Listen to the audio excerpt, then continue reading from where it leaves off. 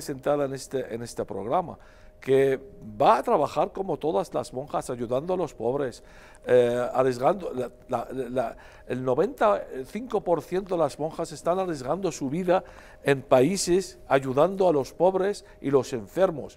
Además, ¿sobre qué base has formado estas declaraciones?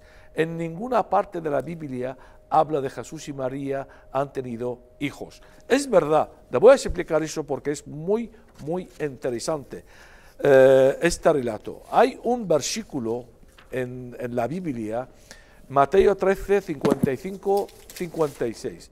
Cuando Jesús estaba en la sinagoga judía, los judíos dicen, pero no es este Jesús el Nazareno, hijo del carpintero, no sus hermanos son José, Judas, Simón y Santiago y sus hermanas están con nosotros y a partir de ahí muchísimas iglesias, iglesias eh, protestantes, eh, como los testigos de Jehová, también dicen lo mismo lo que dice ese. Y es una secta, encima es una secta satánica masón. Y esta, esta mujer coincide con la misma teoría de los testigos de Jehová y con algunas